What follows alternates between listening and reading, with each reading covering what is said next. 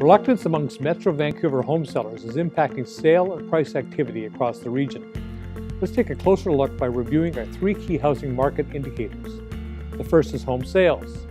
Realtors registered over 2,400 sales on our MLS in February.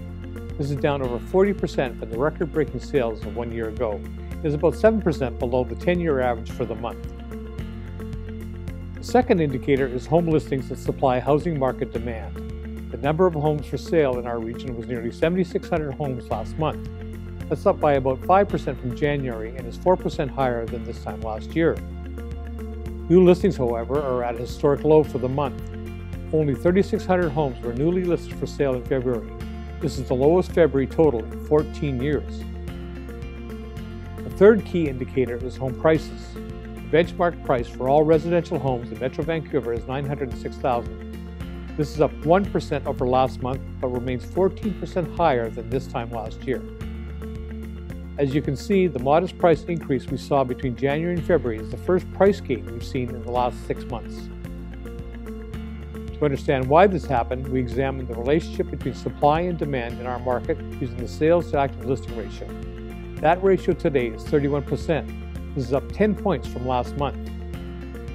Downward pressure on home prices can occur when the ratio dips below the 12% mark for a sustained period, while home prices can experience upward pressure when it surpasses 20% over several months.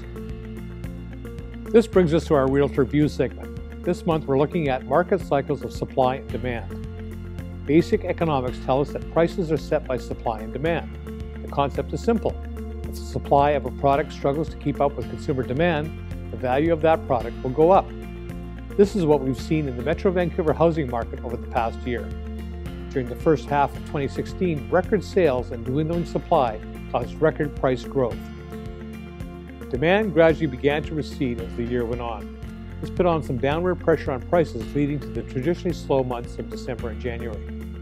While sales in the first two months of 2017 remain below the record breaking activity from one year ago, home seller supply is still struggling to keep up with today's demand. This is why we've seen so little to no downward pressure on home prices this year, particularly in the condominium and townhome markets.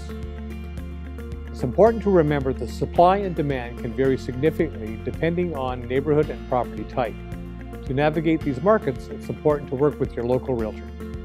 For further housing market information, go to the News and Stats section of this website. For the Real Estate Board of Greater Vancouver, I'm Dan Morrison.